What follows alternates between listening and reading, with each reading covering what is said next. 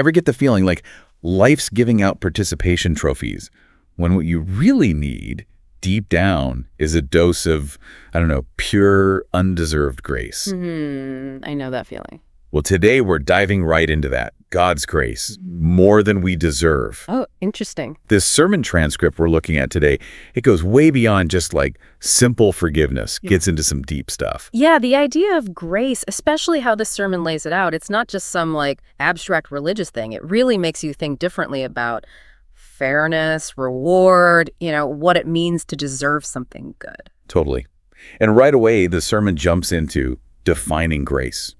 God's unmerited favor. Not because we earned it, because that's just how grace works, I guess. It's a radical concept when you really think about it. And almost feels radical, right? This idea that we don't always have to earn the good stuff. Absolutely. Like imagine instead of a paycheck you worked for, it's more like you're out hiking on a scorching hot day and suddenly there's this hidden waterfall.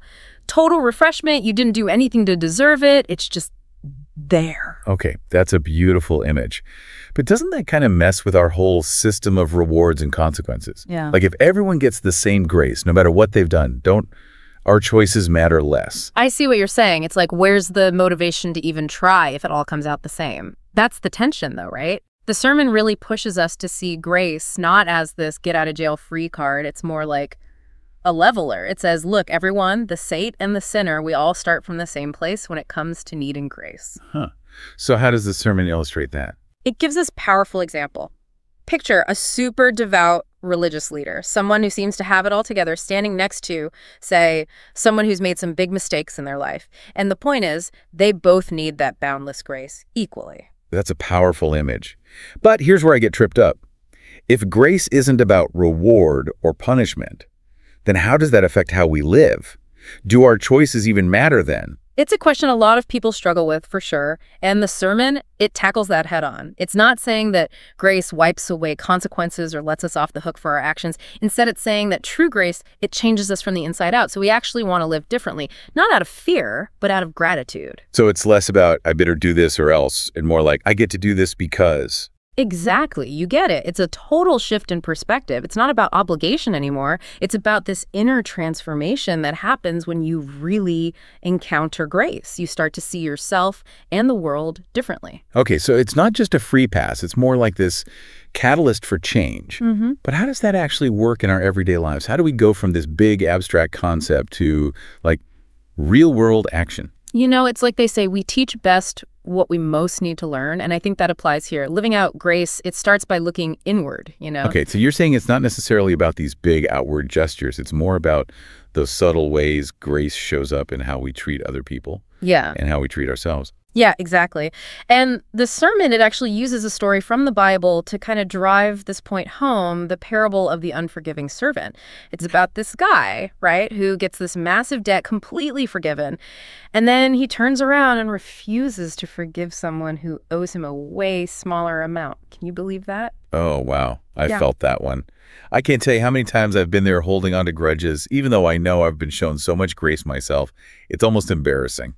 Right. And that's what I find so interesting about this whole idea of grace. It kind of finds a light on those rough edges in our own lives, you know?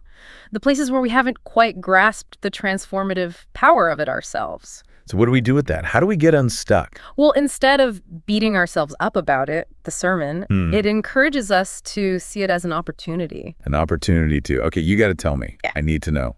To become, as the sermon puts it, living testimonies of the grace we've received. It doesn't really give a step by step guide, but it's more like, okay, you've heard the message, now go out and actually live it. Figure out what that looks like in your own life. It's like a personalized assignment rather than a one size fits all kind of thing. Right. Everyone's expression of grace is going to be unique. Yeah, for sure. I mean, it could be something as small as really listening to a friend who's having a tough time, you know, or choosing to forgive someone even when it's really hard, or just like choosing kindness over judgment when things get heated. Those everyday moments. Right. Those little interactions where we can either make things better or worse. You know, Uh-huh. like we have all this power to either lift people up or tear them down. And that's where it gets really cool because those seemingly insignificant choices, those moments where we choose grace, they create a ripple effect, you know? I'm sensing a theme here. This idea that grace has this expansive quality. It's not just about our own personal experience. It actually impacts the world around us. Totally. It's like that image of the ocean again, right? Right. Boundless, always flowing outward, touching every shore. And what's amazing is that we get to be part of that flow. We can actually be conduits of that grace, letting it move through us and into the lives of other people. Man, that's beautiful. But mm-hmm. honestly, sometimes it feels impossible. Like when life throws those curveballs, you get hurt, you mess up, and the whole grace thing, it just goes out the window. Oh, tell me about it. I've been there so many times. The sermon acknowledges that it's not always easy. In fact, it actually names some of the biggest roadblocks we face when it comes to embracing and expressing grace. Oh, really? Well, don't leave me hanging. What what are some of those obstacles that keep tripping us up? You know, when we were talking about those everyday chances we get to choose grace, it really got me thinking. What about those situations where it just feels impossible? Like when someone's really hurt you, mm-hmm. betrayed your trust, that kind of thing. Yeah, those are tough ones, no doubt. Is it even realistic to like extend grace in those situations? It's definitely a whole other level of challenge when we're dealing with deep hurt, broken trust. And the sermon, it gets that. Actually, it points to one of the biggest things that gets in our way when it comes to grace our own ego. Ego, you mean that voice inside that's like, hey, I deserve better than this. Exactly. It's that sense of fairness, right, that can make us hold on to anger, resentment, even feeling like we're justified in our outrage. But the sermon, it challenges us to consider. Maybe grace isn't about what we deserve. Maybe it's about moving beyond those ego driven reactions, tapping into something way deeper. Okay, I hear you. But when you're the one who's been hurt, that's a tough pill to swallow. How do we even begin to make that shift? From I deserve justice to I choose grace. That's the million dollar question, right? Well, the sermon does offer some practical steps, even for those really tough situations. Hmm. One thing that really stuck with me was this idea of shifting from judgment to curiosity. Curiosity, like trying to see things from the other person's perspective, even when what they did seems totally inexcusable. It's not about condoning the behavior, but it's about creating space for understanding. Remember that image of the ocean, boundless and vast. What if we tried to see the other person not just as the bad guy in our story, but as someone who's also navigating those same deep waters, just as flawed and messy as we are? Okay, yeah, I can see that. It's easy to get so caught up in our own hurt that we forget everyone's got their own story, their own struggles that might have led them to that moment. Exactly. And sometimes choosing grace can be as simple as really choosing to listen. I mean, really listen to the other person's story, not to excuse them, but to understand.